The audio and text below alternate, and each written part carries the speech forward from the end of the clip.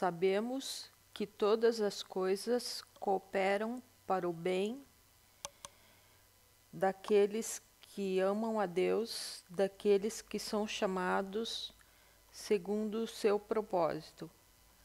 Romanos 8, 28.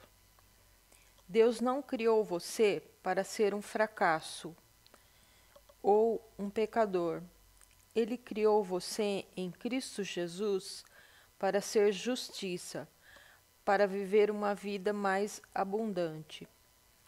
Sua constituição genética, sua história familiar ou as experiências que você viveu no passado não determinam seu futuro.